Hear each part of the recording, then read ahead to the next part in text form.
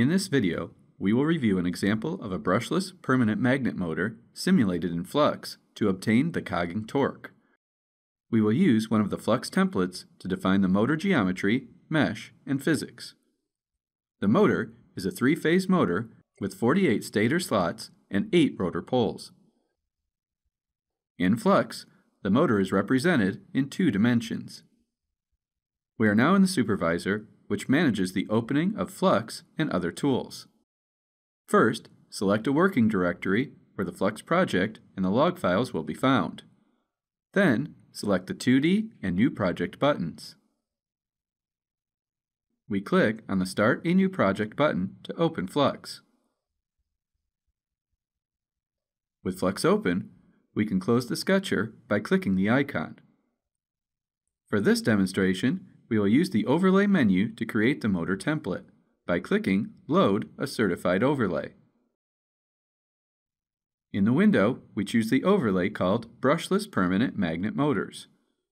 We are now in the overlay, and we right-click to create a new template. The dialog to define the motor is opened. We will enter all necessary geometry and physics data into the fields. First, we choose the creation of an infinite box with the default dimensions. Then, we open the air gap tab and enter a dimension of 0.6 millimeters. On the rotor tab, the number of poles is set to 8 and a rotor external radius of 92 is entered. For the magnet shape, we choose rotor IPM as the type, enter a shaft radius of 56, a magnet thickness of 5, and a magnet pole arc of 140. The image on the right side of the dialog describes each parameter's meaning. For the magnet's shape, we choose Type 4 and enter the dimensions.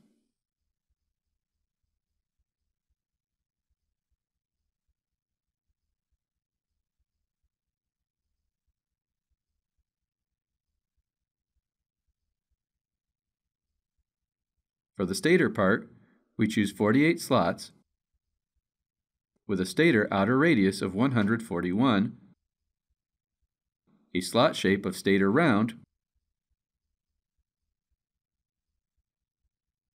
with a depth of 30, a tooth width of 6.5, and a slot opening angle of 40. We activate the creation of a winding and for the winding, choose a lap per pole winding type with a throw of 6 and 2 coils per pole per phase. We then press Enter to create the motor. With the motor created, we can close the overlay context. Now, we need to generate the mesh.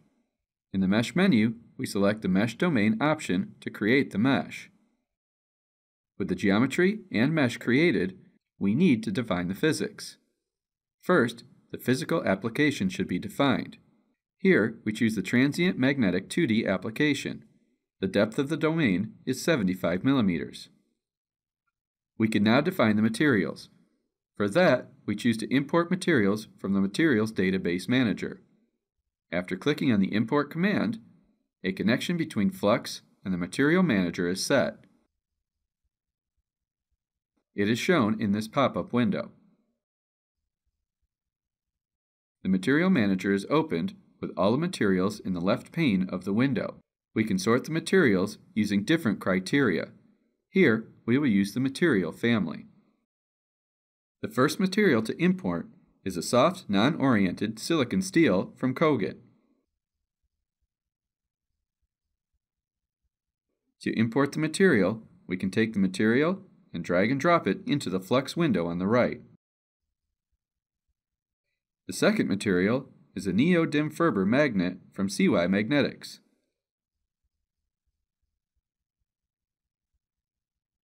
With the material selected, we can close the Material Manager and it will stop the connection. In Flux, we find the two imported materials.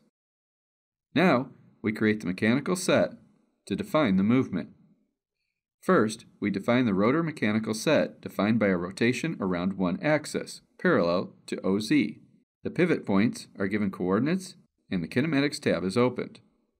A velocity of 1 over 6 is entered and the position at a time of 0 seconds is entered as 0. A second set is created named stator, representing the stator mechanical set. The set is assigned a type of fixed. We now need to set the correct physics on the data sets. In the data tree, the two magnets are selected and the right-click menu is opened. The Edit Array option is selected to edit the face region. In the Modify All column, the subtype is set to Magnetic Non-Conducting Region. The material is set to the CY Magnetics material. And the mechanical set has a value of rotor assigned. Next, the three-phase regions are selected and we edit the array. We keep air or vacuum region defined for the three phases as we will make a cogging torque computation. And for the mechanical set entities in the Modify All column, set the value to stator. Several other entities are selected and we edit the array. The mechanical set is modified to stator in the Modify All column and we keep the air or vacuum region definition. Finally, the last two entities are selected, the mechanical set is changed to rotor in the Modify All column, and the air or vacuum region definition is kept. The rotor is double-clicked to open the region dialog. The type of region is set to magnetic non-conducting, and the mechanical set option is set to rotor. The stator is opened, then the region is set to magnetic non-conducting, and the material is set to the Cogent material. In the Mechanical Set tab, the option is set to stator. The magnets are selected to set the orientation, and the right-click menu is opened to orient the material for the face region. In the Coordinate System column, the coordinate system is set to rotor underscore coordinate. Magnet 1 is set to 10, and magnet 2 is set to minus 10. With the setup complete, the Check Physics option is used to check the model. The output shows when the physics check is complete. We see there are no errors in the check for this example. Now, the solving scenario needs to be set. In the Solving menu, Solving Scenario New option is selected to open the dialog. The Control by Position option is selected to control the analysis by the rotor position. The higher limit is set to 7.5 and the step value is set to 0.1875. Once complete, the arrows are used to add the definition to the intervals table. The OK button completes the setup. The model is now ready to solve. In the Solving menu, the Solve option is clicked to open the Solve dialog. A name is entered in the New Project field and the solver is launched.